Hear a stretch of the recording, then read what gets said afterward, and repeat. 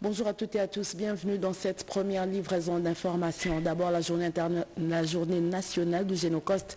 Elle est célébrée le 2 août de chaque année en République démocratique du Congo. Ce vendredi, c'est la première ministre qui célébrera cette grande cérémonie dans la province de la Chopo. La chef du gouvernement est arrivée hier jeudi à Kisangani pour ce grand événement. Suivez.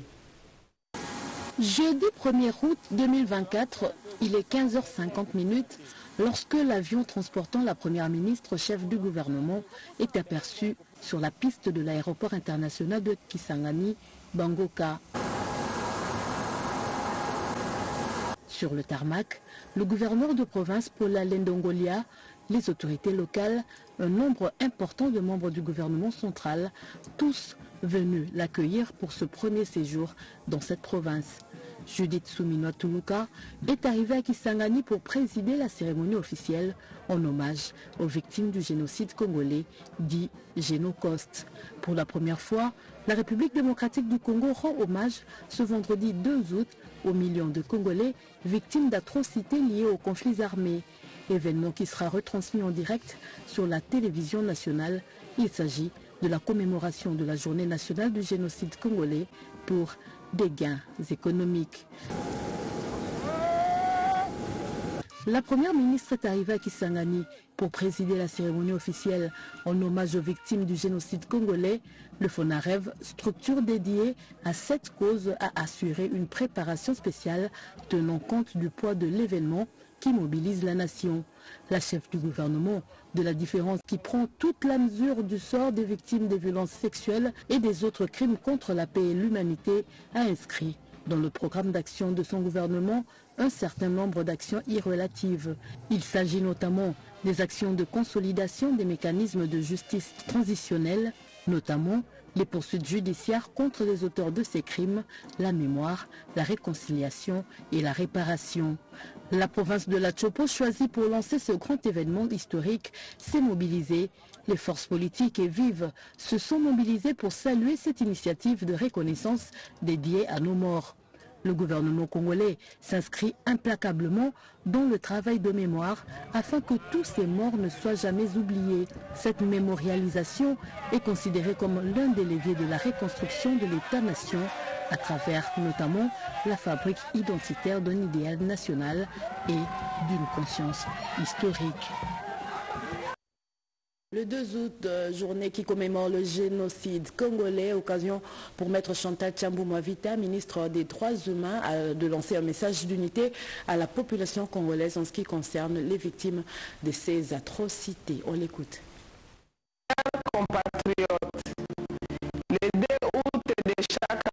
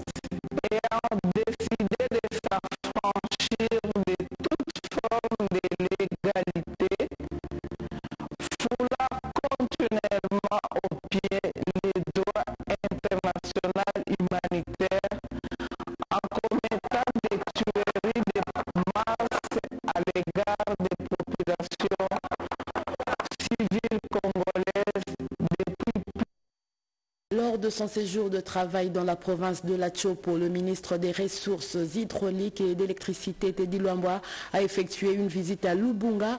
Question d'évaluer les travaux de réhabilitation du réseau de distribution de l'énergie électrique de Lubunga à Kisangani. Edith Chala, explication.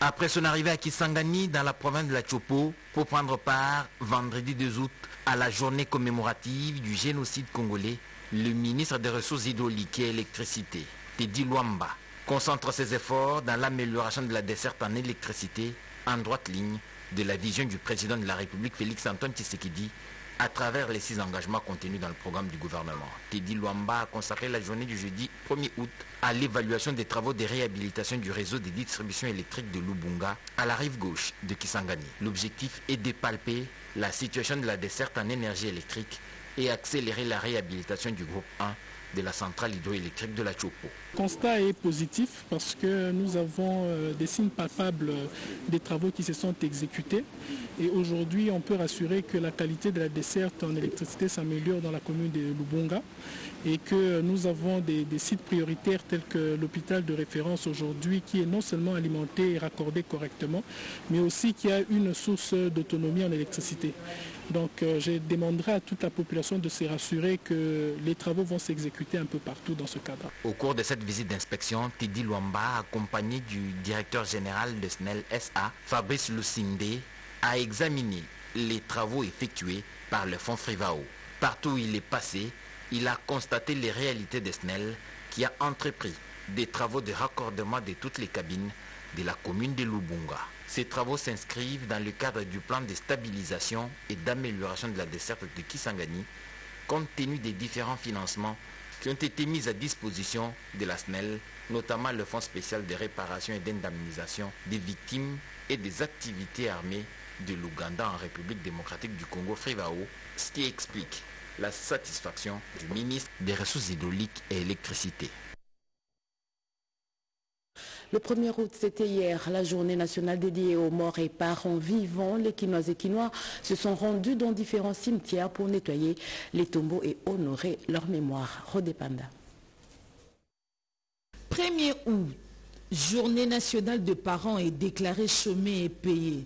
Elle est en mémoire de parents vivants et décédés, permettant aux familles de se recueillir et d'entretenir les tombes de leurs proches. Les cimetières de Kintambo à Kinshasa, bien que fermés officiellement depuis 1998, continuent de recevoir de morts. Malgré l'interdiction des autorités, le fossoyeur vide les anciennes sépultures pour revendre les emplacements.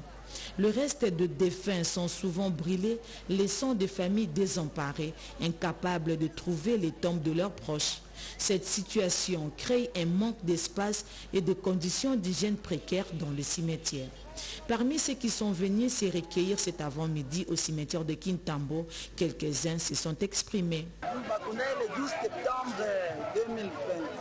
Enterré depuis le 12 septembre 2020, j'ai trouvé la tombe cassée par-ci par-là, bien que j'ai arrangé en faisant faire les réflexions. Ce qui m'a beaucoup dérangé, c'est le fait que j'ai trouvé beaucoup d'herbes secs à l'intérieur et les gens m'ont dit que les fossoyeurs cherchent à remplir les tombes des feuilles mortes pour les brûler afin d'y enterrer quelqu'un d'autre. Nous demandons aux autorités d'être éveillées par rapport au respect des lieux des repos des morts. Nous demandons à l'État de trouver des mesures idoines afin de réglementer cette histoire des cimetières, car c'est triste. Je suis contente de trouver que maman Denise ait aidé à clôturer le cimetière.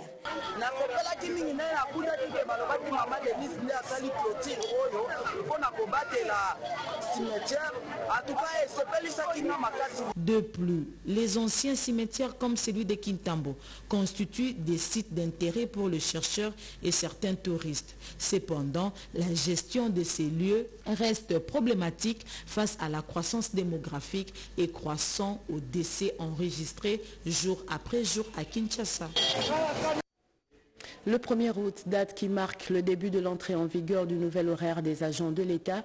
Il s'agit d'une semaine anglaise. Le vice-premier ministre, ministre de la fonction publique, Jean-Pierre Liaou, a donné des précisions sur la modalité d'application de cette nouvelle disposition. On l'écoute au micro de nos reporters. Les dispositions relatives aux nouveaux horaires qui seront désormais d'application dès le 1er août 2024 se présentent de la manière suivante. La durée de service est fixée à 8 heures de travail par jour et 40 heures par semaine. La semaine de travail passe donc de 6 à 5 jours de travail, soit du lundi au vendredi, de 8 heures à 16 heures, avec euh, une pause d'une heure, soit de 12 heures à 13 heures. Les samedis devient donc un jour non ouvrable, sauf pour des services présentant certaines euh, spécificités. L'agent qui arrive entre 8h30 et 9h est retardataire et s'expose à des sanctions disciplinaires autres que la révocation. Celui qui arrive au-delà des 9h30 est réputé absent. Les agents bénéficient donc d'une tranche de grâce allant de 8h à 8h30, non sanctionnable. L'agent qui totalise 8 retards au cours d'un même mois reçoit un blâme. S'il totalise plus de 8 retards au cours de la même période, il subira une sanction supérieure au blâme, mais autre que la révocation. Quatre absences non justifiées, non pas deux, au cours d'un même mois, peuvent conduire à la révocation de l'agent. Par ailleurs, l'absence prolongée, non justifiée, durant 30 jours, au moins, entraîne la démission d'office de l'agent au sein de l'administration publique. Tout retard ou absence injustifiée entraîne une conséquence pécuniaire correspondant au temps non presté après l'expiration de son congé de maternité. Tout agent féminin qui allait un enfant de moins de 6 mois a droit à une demi-journée par jour de repos pour lui permettre d'assurer l'allaitement du nourrisson. Son Excellence, Monsieur le Président de la République, chef de l'État, champion de la masculinité positive, a levé personnellement cette option qui est un progrès majeur pour le droit des femmes. Que le vice-premier ministre des Transports et Voies de Communication a présidé la réunion avec les responsables de l'administration sur l'élaboration du projet budget de son ministère. Nicole Cessep. Les experts des différents services du ministère des Transports, Voies des Communications et Désenclavement réfléchissent sur les actions prioritaires qui seront prises en compte dans l'élaboration du projet du budget de ces ministères. Ce projet sera retenu dans le programme d'action du gouvernement de la République démocratique du Congo dont la loi des finances pour l'exercice 2025 est en pleine élaboration. Des orientations précises ont été données aux participants par rapport à l'élaboration du projet du budget du ministère des Transports, Voies des Communications et Désenclavement par le vice-premier ministre Jean-Pierre Bemba Gombo. Il nous a demandé euh, de respecter la vision du président de la République qui euh, se trouve dans le programme d'action du gouvernement. Maintenant là, nous sommes en train de descendre avec les experts pour que nous puissions commencer euh, le travail de manière que au plus tard, le 5 août, nous puissions lui remettre nos prévisions du secteur, c'est-à-dire administration, euh, entreprise publique, établissement public, et prévisions de, services spécialisés du ministère. à partir du 6, nous irons alors à la conférence budgétaire pour euh, défendre ces prévisions auprès des amis euh, du budget. Cette réunion a connu la participation des directeurs généraux des entreprises, les responsables des différents services de l'administration ainsi que les services spécialisés qui sont sous tutelle du ministère des Transports. Parlons cette fois-ci de la rencontre de la vice-ministre de l'Intérieur avec la délégation de l'ANAPI et l'ambassadeur de Côte d'Ivoire. Les détails avec Chimène Dondo. La numérisation de services et entités sous tutelle du ministère de l'Intérieur, Sécurité, Décentralisation et Affaires coutumières demeure l'une des priorités du quinquennat du président de la République, Félix-Antoine Tshisekedi Chilombo, porté par les gouvernements souminois. C'est dans ce cadre que la vice-ministre Eugénie Tchela Kamba a eu une séance de travail avec une délégation de l'ambassade de la Côte d'Ivoire conduite par les chargés des affaires économiques qu'accompagnait l'Agence nationale de promotion et investissement, ANAPI. L'occasion pour les numéros 2 de la territoriale au pays d'écouter ces hôtes venus pour expliquer l'enjeu et l'opportunité de la plateforme de digitalisation World Financial Service efficace, notamment dans la gestion de paye des policiers et la collecte de taxes et redevances dans les entités communales, ce qui doit permettre à l'État d'accroître ses ressources internes. La plupart euh, des contribuables sont dans l'informel. Les collecteurs euh, manuellement ont du mal à couvrir l'assiette. Nous avons réussi à digitaliser l'ensemble euh, des mécanismes de collecte avec la constitution de bases de données qui permet d'établir le potentiel économique et financier des collectivités. Nous avons été émerveillés par euh, la réaction de la vice-ministre. Satisfaite d'avoir écouté de ses hôtes de l'intérêt qu'apporte la Banque mondiale dans ses vastes projets de digitalisation, la vice-ministre de l'Intérieur, Eugénie Tchela Kamba, a émis le vœu de voir la société Clochor Congo lui transmettre une note d'information afin de voir dans quelle mesure passer de la parole à l'acte. Vous avez sûrement reconnu le timbre vocal de Tété Bongunja. Direction au ministère de l'Intérieur pour parler cette fois-ci de la mise au point du ministre sur le conflit Mbolé-Lengola face aux autorités coutumières. Les enquêtes sont en cours, mais les premiers indices à notre possession démontrent à suffisance qu'il n'y a pas eu d'acte prémédité. Donc les incidents d'hier au GLM n'ont pas été prémédités. C'était un mouvement spontané de jeunes gens dans un esprit de groupe. Par conséquent, il n'y a pas eu de complot contre qui que ce soit. Il n'y a pas eu non plus d'incident ou d'attaque de mort. Les enfants qui ont été brutalisés portaient des t-shirts légers sans sous-garment. Ils n'avaient ni machette ni arme à main. Et pour cette raison, nous avons demandé à ce que il y ait la neutralité dans les enquêtes en cours. J'ai instruit au commissaire général de la police nationale d'appliquer les mesures qui s'imposent.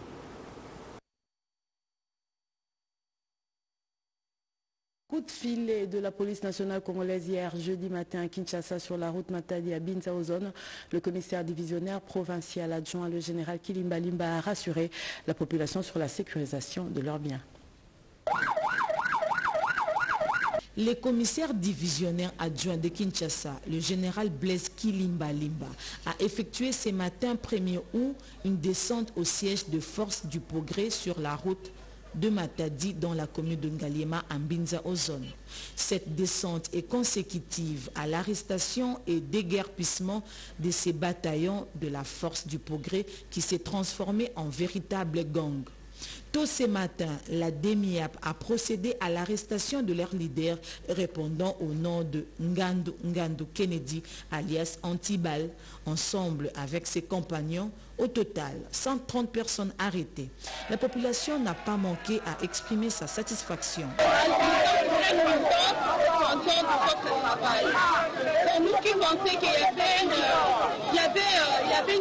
Qui était au-dessus de la.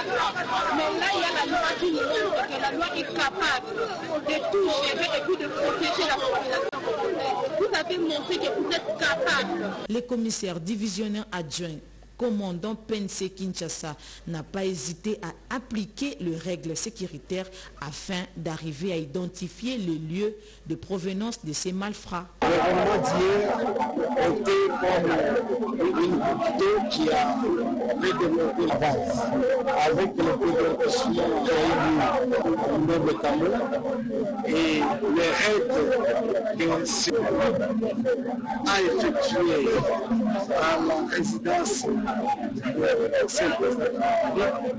fait que nous puissions appréhender quelques influences et ceci, l'enquête étant, ça nous a conduit à identifier les lieux de provenance des malfrats qui ont trouvé leur hier.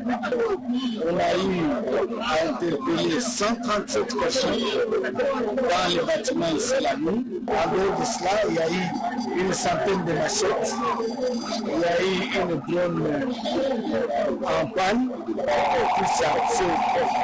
de la population doit continuer à faire confiance à autorités.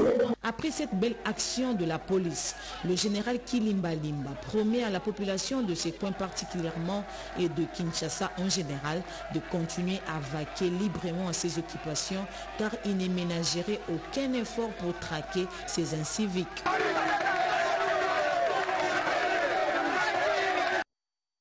Autre chose, clôture et ouverture de la formation 9e session ordinaire et 7e session spéciale au CHETS. La cérémonie était présidée par Vital Caméré, représentant du chef de l'État. Suivez ce reportage. C'était la clôture de l'année académique au Collège des hautes études des stratégies de défense TIESD et à l'École supérieure d'administration militaire. Cérémonie de haute facture à laquelle le président de la République, commandant suprême des forces armées de la République démocratique du Congo, a été représenté par le parrain de la 7e session spéciale TIESD et président de l'Assemblée nationale, Vital Caméré. Rituel académique ponctué par différents discours terminés, la marraine de la session ordinaire, la première ministre Judith Souminois, a procédé à la remise des diplômes aux auditeurs de la session ordinaire et le parrain de la 7e session spéciale a remis les diplômes aux auditeurs civils. 205 récipiendaires avec différentes mentions, plus grande distinction, grande distinction, distinction et satisfaction, et certains admis aux mémoires.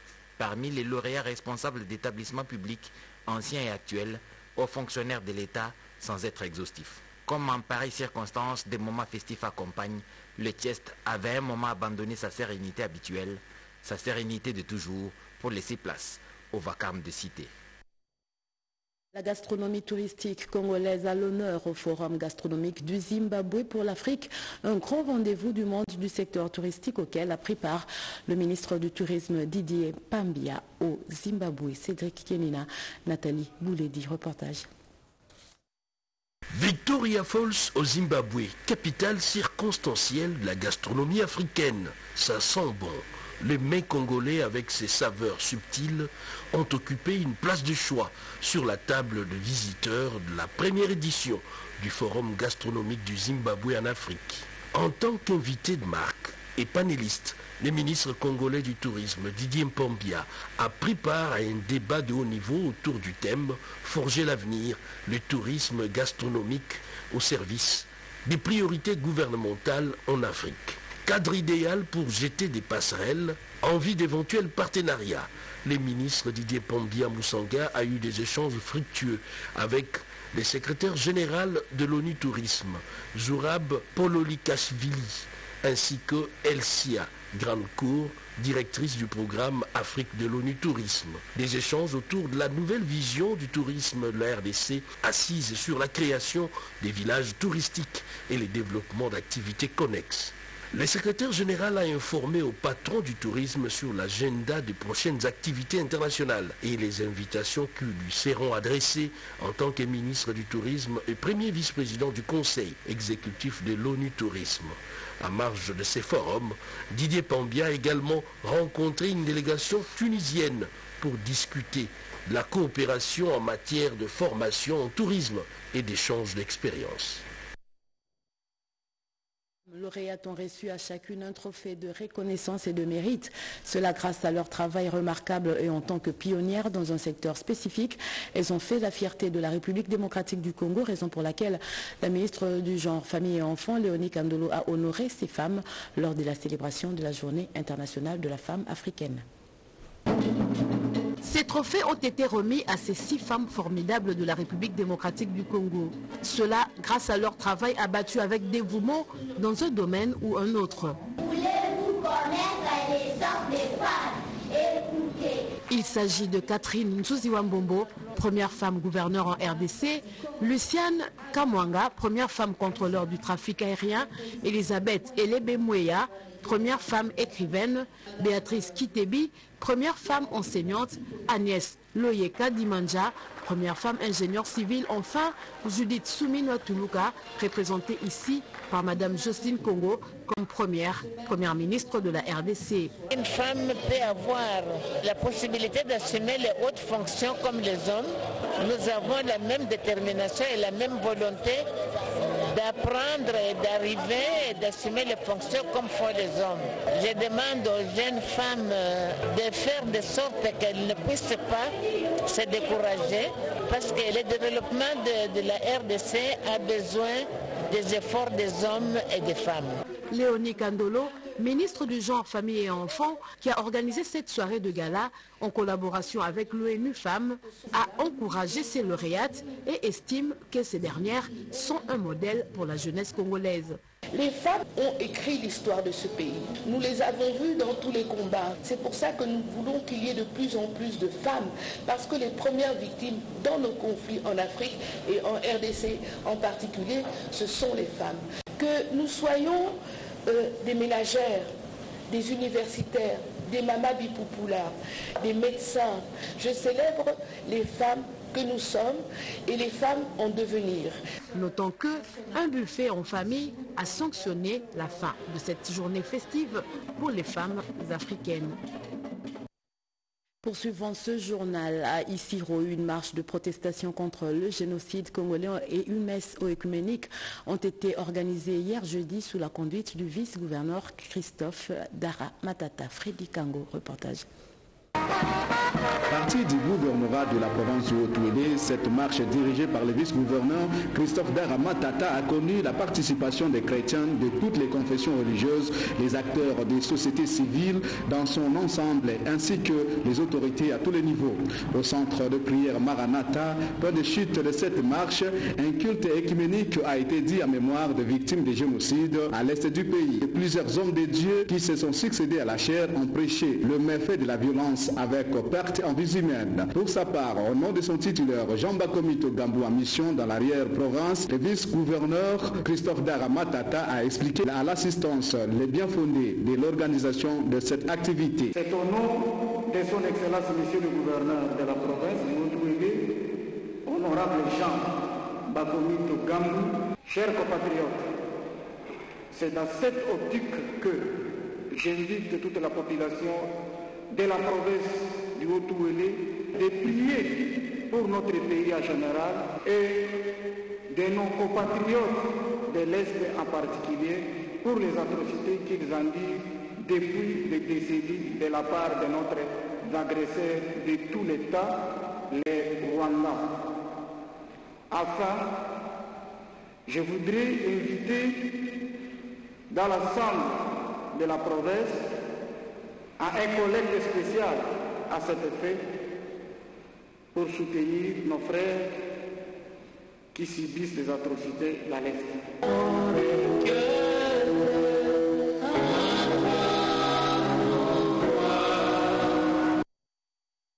Quatre pasteurs ont reçu la bénédiction de consécration des mains du révérend André Bokundoa, président et représentant légal de l'ECC.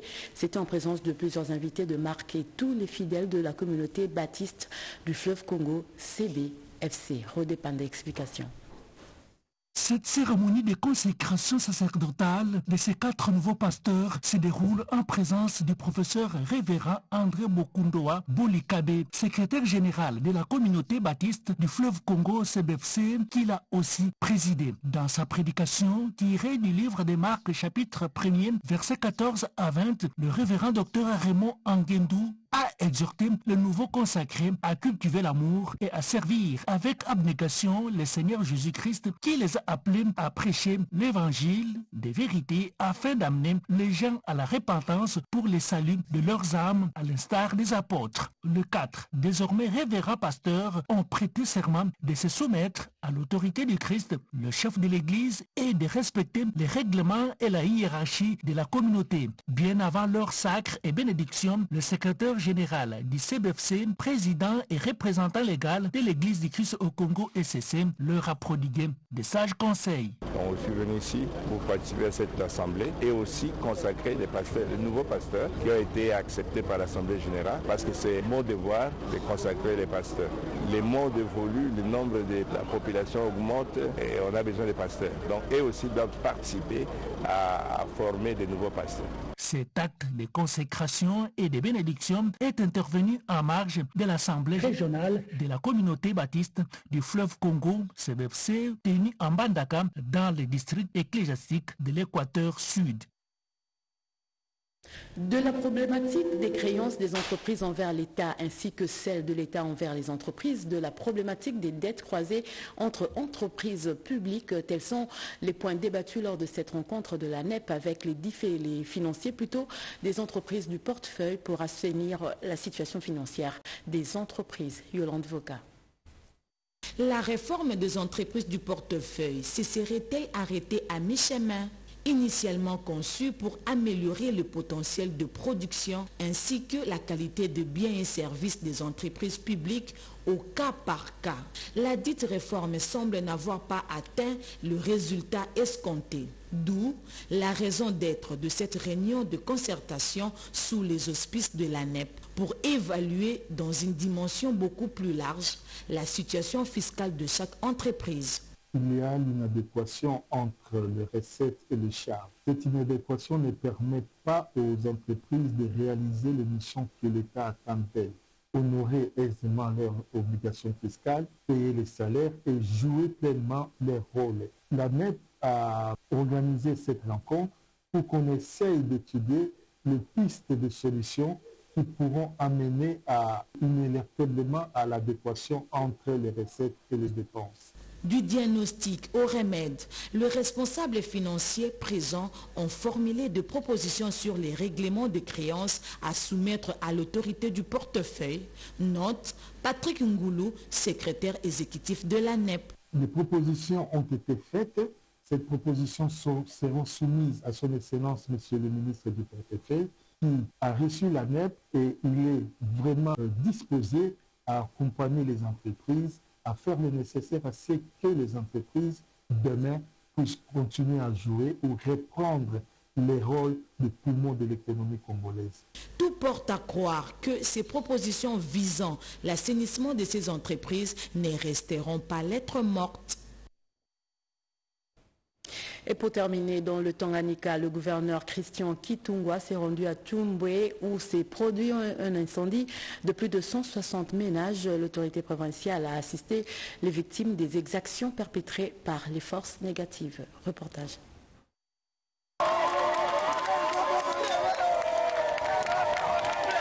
Touché par les exactions perpétrées par les éléments s'autoproclamant du groupe armé Bitonto le lundi 29 juillet dernier dans les villages Tombouy, à près de 18 km de la ville de Kalemi. Les gouverneurs de la province du Tanganyika, l'honorable Christian Kitungwa Muteba, s'est rendu en chair ce mercredi 31 juillet sur les lieux du drame, accompagné des son vice Kabouemo Longo Isidore et des membres du Conseil de sécurité, pour palper la réalité de ces accrochages ayant causé l'incendie des plus de 160 ménages au village Tumboué. À cela s'ajoute le blessé grave par flèche. Informé de la situation par le chef du village, que ces éléments armés faisaient autrefois partie du mouvement d'autodéfense du village Tumboué contre les forces négatives, avant de se retourner contre ses propres frères pour avoir refusé de rendre les armes après une mission de pacification entre Toi et Bantou, malgré plusieurs appels lancés. Les gouvernants Christian Kitunga Muteba a d'un ton fermé et sans appel condamné ces actes de barbarie et a appelé ses assaillants à enterrer la hache de guerre et à promouvoir la paix, cela passant par la restauration de l'autorité de l'État. Le chef de l'exécutif provincial a invité toutes les parties à suspendre tout autre mouvement d'autodéfense et renforcer les éléments de FRDC. tulipikana vita juu ya mwe population na mimi siwezi kuitika banduku yangu babachome manyumba gisi minaona mina regrete sana bazazi ya bale batoto beko mupori si beko hapa minapenda mwambie batoto yenu barudie. Tunasikilizana? Barudie baache bile bitu mubambie banze kwanza kuacha bile bitu haraka haraka kwa bule Et voilà, ainsi prend fin ce journal. Merci à vous tous de l'avoir suivi. C'était une édition de Cédric Kenina, réalisée par Pecho Moubenga, Mamita Bangoulou. La partie technique a été assurée par Joseph Nzezo, Jean-Guy Kizuela et Emile Zola Lengalia. Le prochain rendez-vous d'actualité est fixé pour vous tout à l'heure à 13h30 avec Marie-Louise Mbela. Bonne suite de programme sur votre chaîne, la radio-télévision nationale congolaise.